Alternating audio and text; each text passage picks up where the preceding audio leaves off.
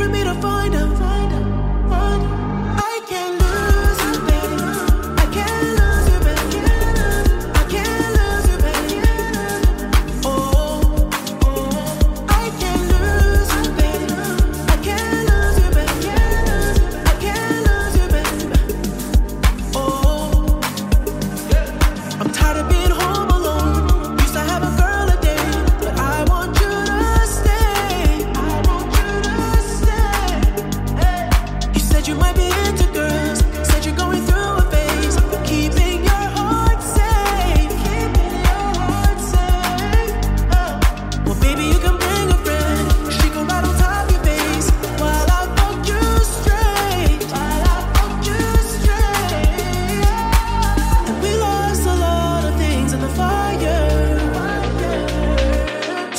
took a year for me to find him. Find him, Find.